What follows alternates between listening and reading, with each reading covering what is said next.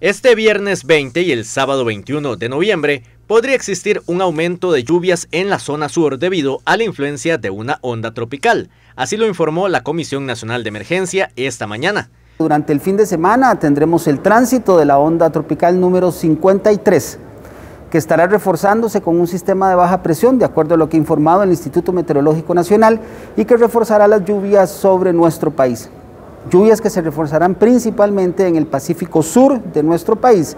La parte más fuerte de la interacción con esta onda y las lluvias que pueda provocar serán para el día viernes y sábado principalmente. Todo el Pacífico Sur se mantiene bajo alerta amarilla. Para el día de hoy, ha reportado el Instituto Meteorológico Nacional que tendremos condiciones típicas de periodo lluvioso, con lluvias en horas de la tarde y primeras horas de la noche, principalmente sobre el litoral pacífico. Y recuerda, que mantiene un estado de alerta amarilla para todo el Pacífico de nuestro país. Las autoridades llaman a la precaución por la saturación de suelos que pueden provocar deslizamientos con pocas precipitaciones. Mantenerse alerta es importante recordando que seguimos en época lluviosa.